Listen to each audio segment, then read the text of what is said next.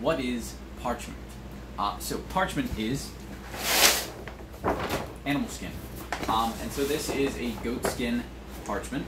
Uh, it is a very large piece of parchment, but it's prepared by taking the skins, um, liming them, removing the hair, removing the flesh from the inside, um, and then stretching them over a frame until they are completely taut and thin, and then thinning them, thinning them, thinning scraping them down uh, until you get something thinner and thinner, uh, and sometimes as thin or thinner than paper historically.